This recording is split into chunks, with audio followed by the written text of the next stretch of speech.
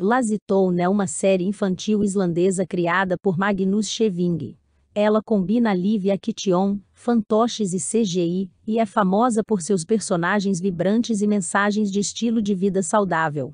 A série teve quatro temporadas. Aqui estão 30 curiosidades sobre Lazytown, criador da série. Magnus Scheving, que interpreta Sportacus, também criou Lazytown. Ele é um ginasta e empresário islandês origem. Lazytown começou como um livro infantil escrito por Magnus Scheving, que depois se transformou em uma peça de teatro antes de se tornar uma série de TV personagens principais.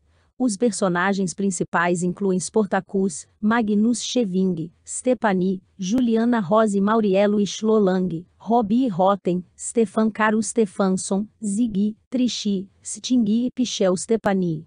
A personagem Stepani foi interpretada por duas atrizes. Juliana Rose Mauriello nas duas primeiras temporadas e Schloelang nas duas últimas Robbie Rotten. O vilão da série, Robbie Rotten, foi interpretado por Stefan Caro Stefansson, que foi aclamado por sua performance cômica linguagem. A série foi dublada em mais de 30 idiomas e transmitida em mais de 180 países mensagens de saúde. Lazytown promove um estilo de vida saudável, incentivando as crianças a se exercitarem e comerem de forma saudável origem do nome. O nome Lazytown refere-se ao fato de que os habitantes da cidade são preguiçosos até a chegada de Spartacus e Stepani produção. A série foi produzida na Islândia e os cenários foram construídos em um grande estúdio em Gardabar, perto de Reykjavik Tecnologia. Lazytown é conhecida por sua utilização de CGI e efeitos especiais avançados para criar um ambiente colorido e dinâmico música.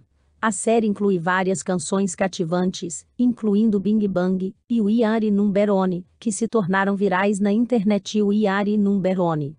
A canção Iari Numberone se tornou um meme da internet e gerou muitos vídeos e paródias mascote. Sportacus tem um dirigível azul e um mascote chamado Airship Sport e Ação. Magnus Scheving realizou muitas de suas próprias acrobacias como Sportacus, destacando suas habilidades atléticas premiações.